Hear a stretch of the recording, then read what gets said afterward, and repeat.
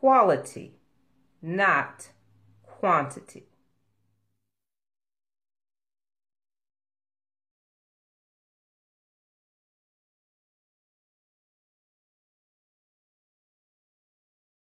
Business 101 What separates the moral from the immoral is simple greed.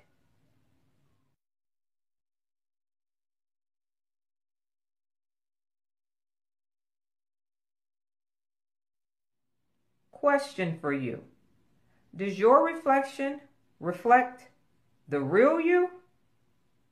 Hey there, ladies and gentlemen, it's me, Dr. Donna. Today's turnaround challenge name five things that cost $5 in 15 seconds or less. Ready, set, go.